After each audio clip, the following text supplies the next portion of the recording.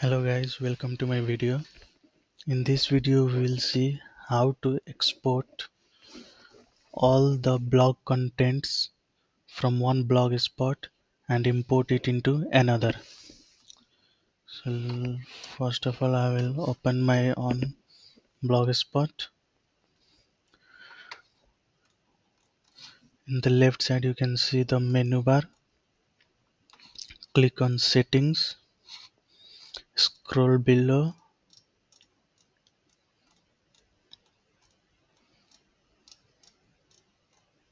Keep scrolling. Under manage blog click on backup content and click on download.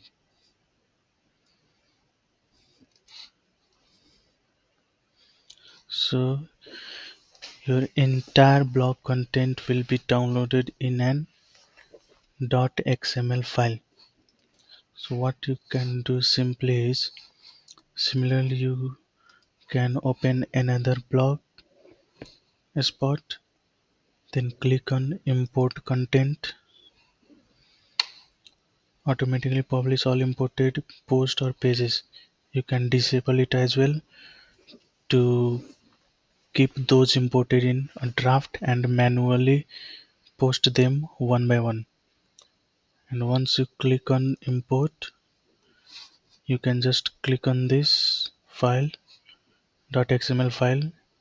You just exported from another blog open and here you go.